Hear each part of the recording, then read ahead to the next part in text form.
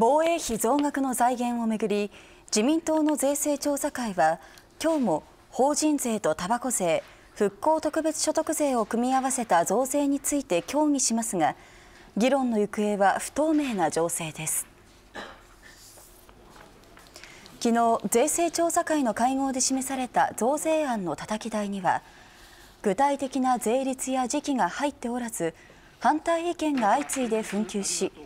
今日再び会合を開いて協議します。税制調査会の幹部は法人税は税額に一定割合を上乗せする付加税方式で増税する方針で税率を5%以下とする方向で議論を進めています。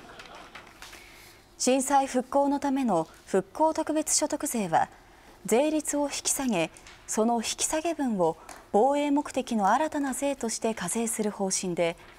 所得税額の1%程度を検討しています。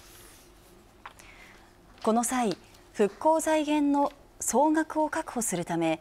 課税期間を14年程度延長することが議論検討されています。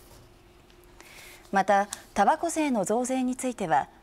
1本3円程度段階的に増税する案が検討されており加熱式タバコに限定する案も出ています。税制調査会は週内に結論を出したい考えですが意見を集約できるか予断を許さない情勢です。